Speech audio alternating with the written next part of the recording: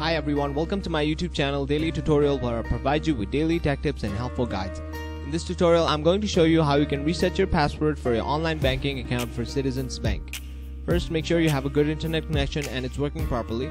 Then go ahead and open up a web browser. On the search bar, type in citizensbank.com.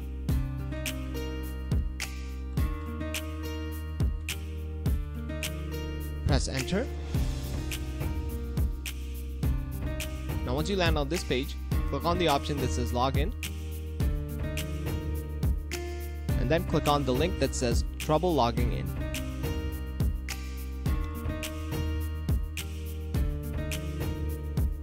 Now here, choose the category as personal and below that click on the option that says forgot my password. Click on continue. And now you have to type in your online user ID here and then click on continue. Once you click on continue, it should direct you to another page where they'll further guide you on how you can reset your password for your online banking account. Make sure you follow all the steps carefully and you should be able to successfully reset your password for your online banking account for Citizens Bank. And that is it. Thank you very much for watching this video. Be sure to leave a like, share this video, and subscribe to our channel for more helpful guides just like this.